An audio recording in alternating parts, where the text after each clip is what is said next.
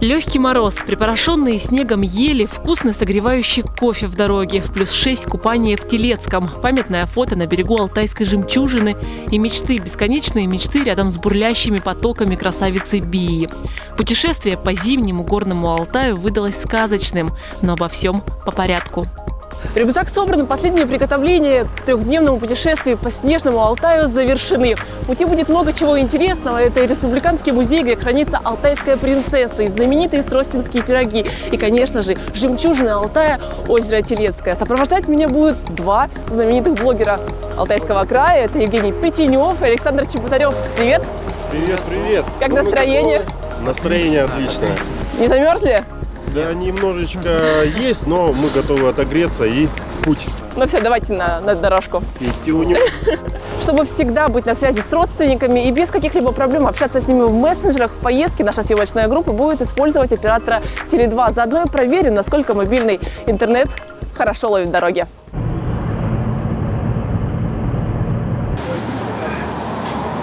Вот первая остановочка.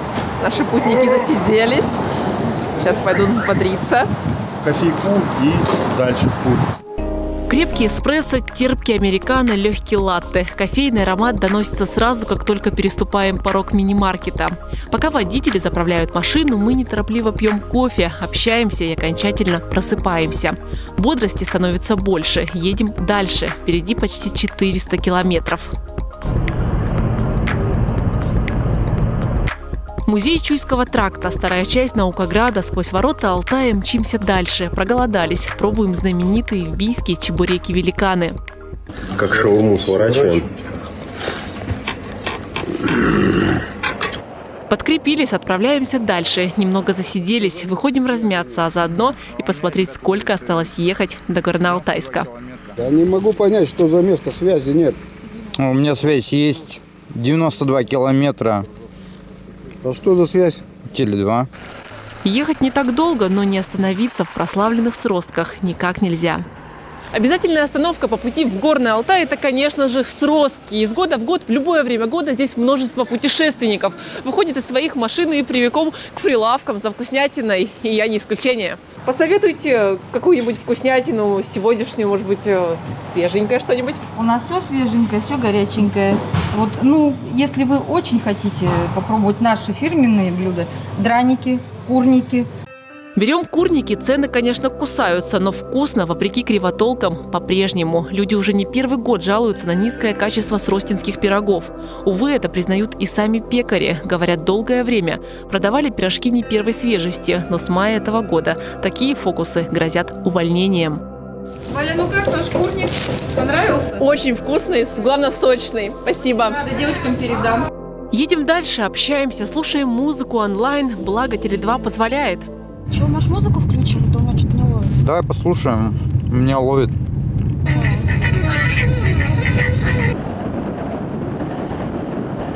И вот мы уже на перекрестке миров Республики Алтай. Именно здесь на протяжении многих тысячелетий встречались разные народы, многие из которых уже перестали существовать. К примеру, белая госпожа, принцесса Укока, жившая две с половиной тысячи лет назад.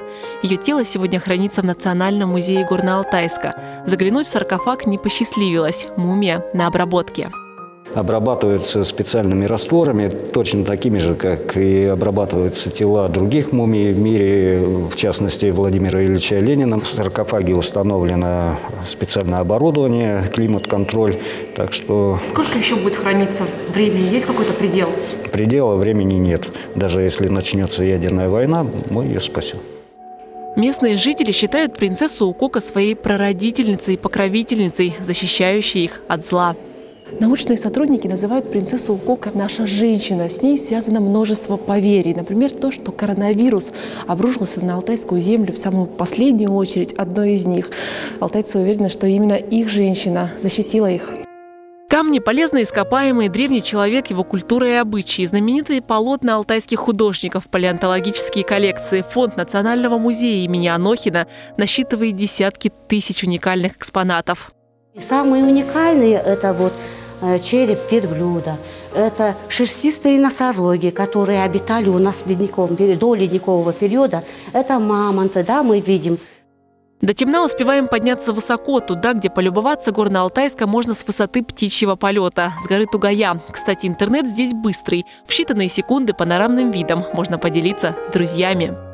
В конце августа Теле2 запустила в Республике Алтай связь и быстрый интернет. Кстати, это одна из первых в России сотовых сетей, которая проектировалась и строилась сразу для быстрого интернета. Здесь мы для того, чтобы измерить скорость интернета Теле2. Для этого используем специальную программу. Начинаем! Стрелка скорости резко взлетает вверх, показатель 82 из 100. Скорость мобильного интернета идеальная, это при том, что мы находимся на высоте 640 метров. Теле2 всегда и везде дает возможность общаться с друзьями в социальных сетях и делиться с ними красотой. Где-то за 100 километров до Телецкого начинается серпантин. По обе стороны гигантские ели. Гор почти не видно. Останавливаемся в четырех километрах от Телецкого озера на берегу заснеженной Бии. В парке отеле Бия заповедная. Ужинаем и скорее спать. Просыпаемся рано не от шумных городских дорог, а от свежего горного воздуха. Запаха кедра, пьем чай, беседуем. Здесь такое место, где брать в руки телефон хочется лишь для того, чтобы запечатлеть первозданную природу и показать ее вам.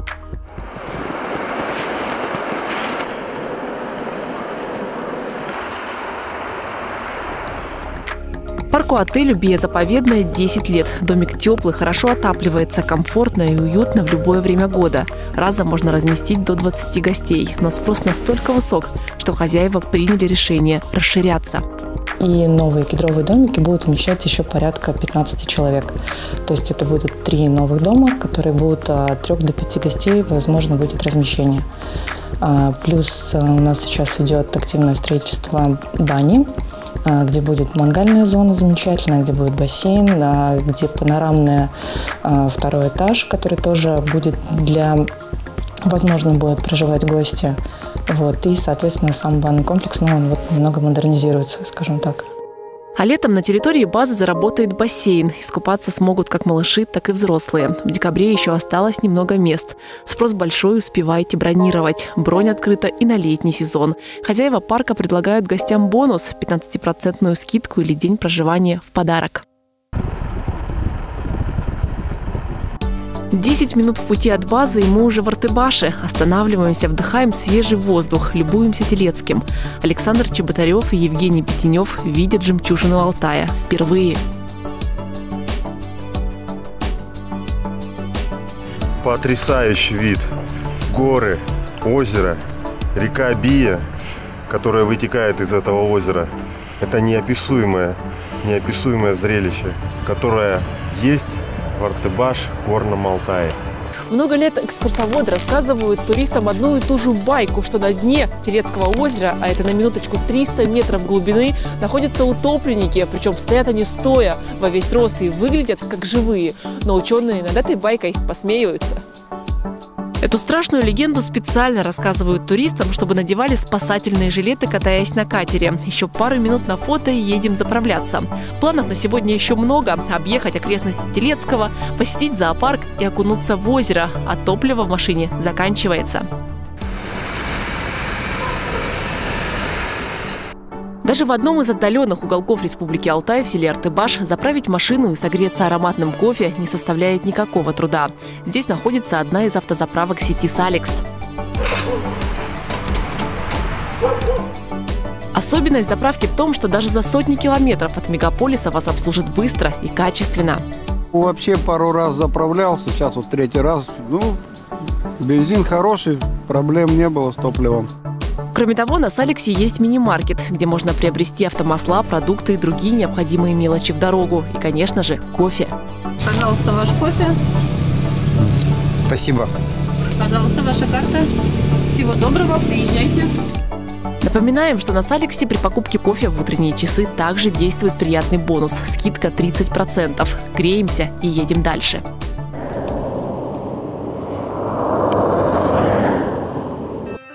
Следующая остановка вновь на Телецком. Александр Чеботарев решается на мини-заплыв, благо, говорит, подготовка позволяет. Я уже второй год занимаюсь закаливанием, поэтому рекомендую сначала принимать контрастный душ, ну а потом, соответственно, переходить вот к таким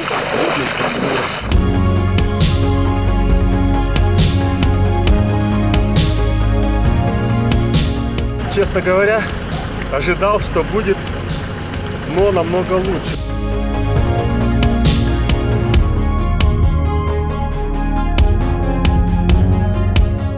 По телу такие мурашки, прям кожа, видите?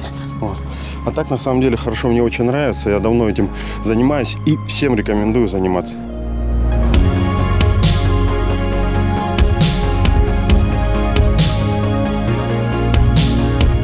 Парни! Ладно, все, все, не отвлекаем, молодец. Зоопарк на Телецком в обязательном списке посещений. До заката успеваем познакомиться с леопардами, тиграми, енотами и даже волкособами. А вот и тот самый пес Дик, который рискнул зайти в клетку к хищнице.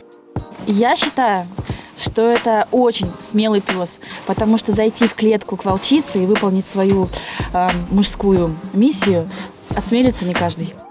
А это проказница Глаша, любимица посетителей в зоопарке под открытым небом гуляли дольше запланированного. Здесь же встретили закат. Вечером ароматный чай и фирменное блюдо от нашего виртуоза, шеф-повара Евгения Петенева. А утром снова в путь, домой и любование невероятными пейзажами Горного Алтая.